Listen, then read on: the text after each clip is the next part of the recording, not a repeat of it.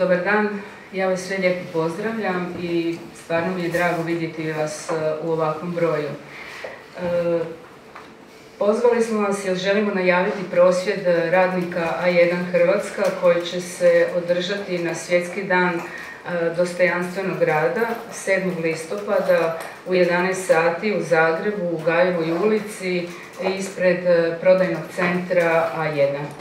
Prosvjed smo nazvali Radimo, živimo na rubu siromaštva koja je građanima Republike Hrvatske od 1.7. E, povećala cijene usluga za 8,5%, uprava odbija pregovarati o povećanju plaća radnicima a te plaće su na razini 590 eura u najnižem platnom razredu u kojem je zaposleno oko 400 radnika, odnosno 20% radnika kompanije. Ta plaća mizerna, mislim uopće ne moram govoriti.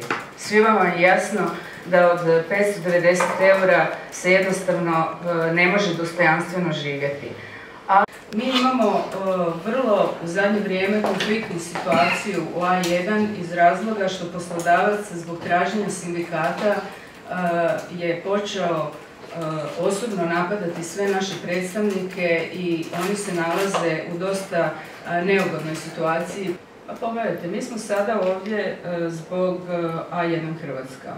Moguće da ćemo se uskoro naći ponovo zbog Hrvatskog telekoma kao što smo prošle godine prosvjedovali zbog radnika Hrvatskog telekoma. Ali sada smo ovdje zbog A1 Hrvatska, zbog toga što radnici A1 Hrvatska imaju stvarno neprimjereno male plaće i e, što evo 70, više od 70% radnika ima plaću manju od e, prosjeka Republike Hrvatske.